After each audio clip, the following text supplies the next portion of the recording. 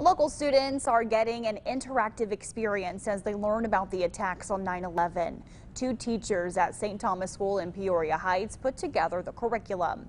To close out the unit today, students took a virtual field trip to the 9-11 Museum in New York City.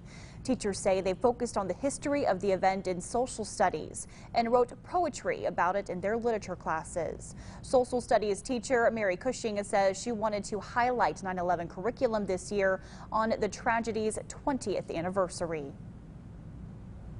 They have been very reflective. They've had a lot of questions. Um, they were excited today to sort of step out of our normal uh, routine and really get to see the actual uh, artifacts from this, from this museum.